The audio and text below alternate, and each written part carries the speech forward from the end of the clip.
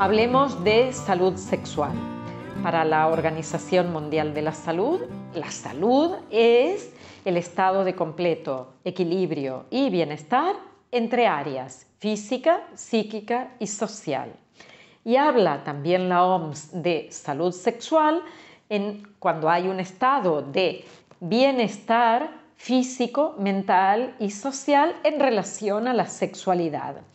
Y pone unos condicionantes que requiere de un enfoque positivo.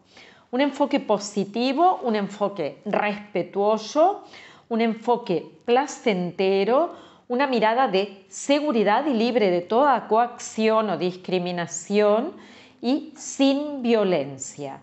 Con lo cual, que sea positivo una relación sexual o es placentera, gustosa en sí misma y positiva o no es una relación sexual. Hay una coacción sobre alguien y en ese momento deja de ser una eh, relación sexual sana, que sea respetuosa, por lo tanto que no se banalice, que no se utilice el sexo de cualquier manera, que sea segura.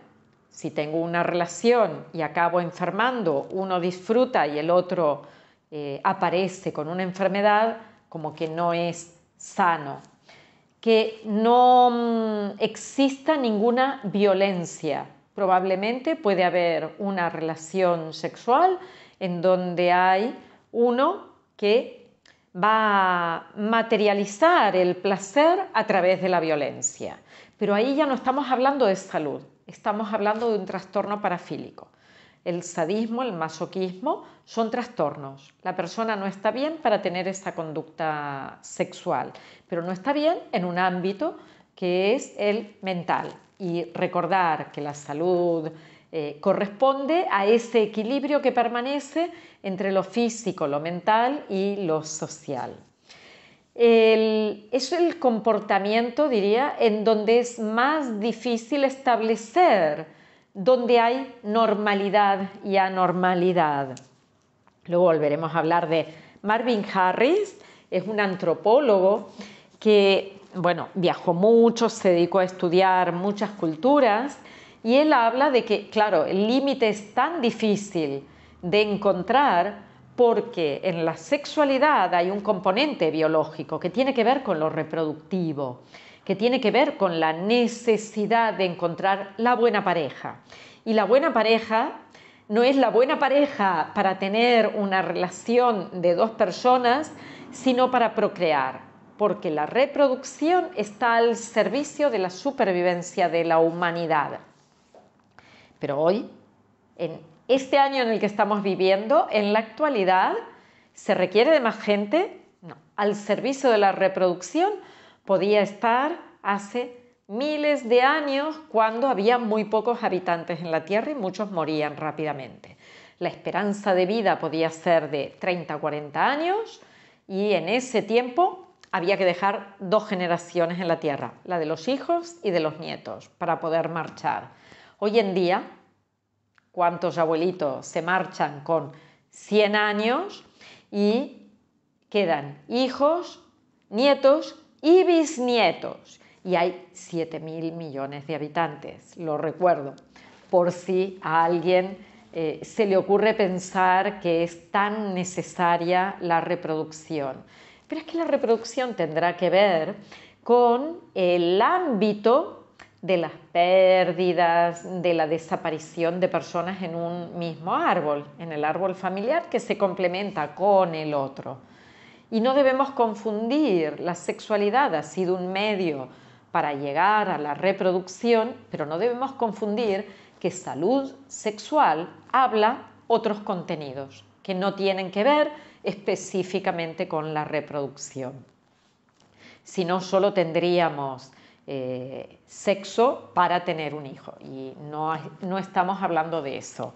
Pero es un comportamiento donde encontramos dificultad en valorar lo que es natural de lo que es antinatural o lo que sería enfermedad. Marvin Harris tiene un capítulo dedicado a la reproducción y un capítulo dedicado a la sexualidad humana. Y ahí es donde nos dice, no existe un punto claro entre la sexualidad humana ni un punto único. Ahí es donde tenemos que ir. ¿Por qué? Porque a nivel cultural, que es lo que estudian los antropólogos, ir a mirar cómo está viviendo una determinada cultura, para cada cultura la forma de relacionarse a nivel sexual puede ser distinta. No solo relacionarse en muchos otros ámbitos, pero ahora focalicemos solo en la sexualidad.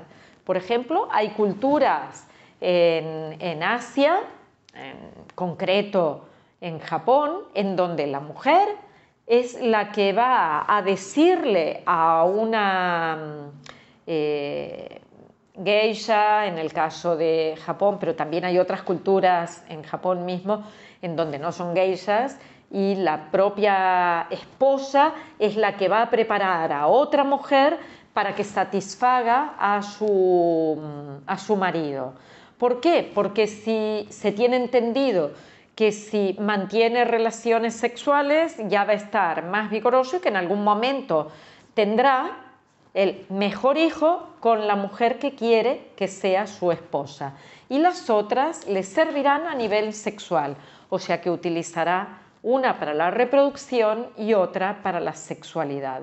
Y no hay que banalizarlo, porque cada cultura ha entendido de una determinada manera estos dos conceptos.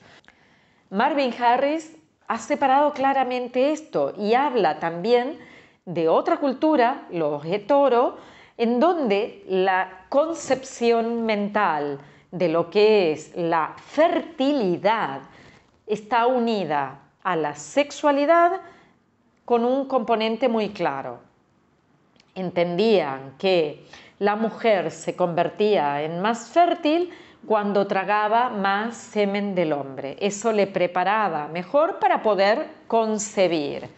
¿Y qué han hecho los hombres adultos ya en lo que sería para nosotros la tercera edad o vejez, ancianos, que prestan su cuerpo para que les hagan una felación y las jóvenes vayan adquiriendo la capacidad de tener unos óvulos mucho más fecundos cuanto más semen trae, trague.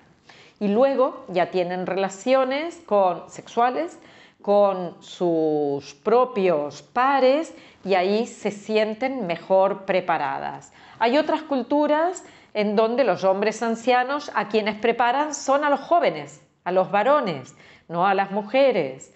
O sea que en cada lugar depende de las propias condiciones de vida lo que ha llevado a que se tengan unas preconcepciones distintas. ¿Y quién va a decir que es mejor o peor? En ningún lado, por más que lo más habitual sea lo que estemos viviendo tú y yo. No podemos decir que sea así, al menos desde la antropología no lo miramos de esta, de esta manera. Lo que sí miramos que la sexualidad tiene una parte que es biológica y una parte que tiene cultural y que eso es distinto en las diferentes concepciones. Hay un, un criterio de malestar cuando habla de que es, hay un malestar subjetivo en la relación cuando no se sostiene una relación que sea positiva, que sea respetuosa, que sea placentera, que sea segura y que esté libre de toda coacción o violencia. Este es el criterio para que determinemos si una relación sexual es sana o no. Si yo estoy pensando en que mi pareja, hombre o mujer, está engañándome o tiene relaciones con otras personas, seguramente no podré entregarme libremente ni tendré una relación positiva. Si en la relación sexual hay violencia, no conseguiré satisfacerme a mí misma, o la violencia puede ser de cualquiera de los dos lados, ¿eh? Mm, o, sentir que estoy libre de materializar la experiencia como yo quiero. Por lo tanto, cuando esos criterios o parámetros no se dan, probablemente aparezca lo que se denominan problemas en la relación sexual. La patología en la relación sexual está eh, categorizada en tres términos. Una es los problemas que tienen que ver con la respuesta sexual, que se denomina disfunción sexual. La disfunción sexual es en femenino o en masculino. Por ejemplo, una disfunción sexual en masculino sería la falta de erección y una disfunción sexual en femenino sería todo lo que tenga que ver con el dolor en el mantenimiento de una relación sexual, con lo cual no llego a un orgasmo. Otro problema es la falta de atracción sexual o que el objeto de atracción sexual sea distinto de lo que es el objeto natural, que es la otra persona. Me da igual que sea un hombre o una mujer, pero es la otra persona. Y ahí entran todos los denominados trastornos parafílicos, las parafilias o y o trastornos parafílicos. Y después está el malestar en relación al género, lo que se denomina disforia de género. O sea que hay tres componentes. Una es la respuesta sexual, el otro es el objeto de atracción sexual y el otro es el malestar en relación al género. Y en ese abanico vamos a encontrar la mayor parte de situaciones en donde vamos a tratar luego, por ejemplo, si hay algunas de ellas, vamos a tratar a nivel físico las enfermedades. Por ejemplo, puede haber eyaculación precoz, puede haber anorgasmia, puede haber falta de erección, ah, luego trastornos de comportamiento en donde encontramos todas las situaciones o trastornos parafílicos, y la, falta de aceptación de la propia realidad de género, porque uno siente que puede funcionar muy bien desde otro lugar o incluso en cualquiera de los dos sin tener contenido eh, de, un género o de otro.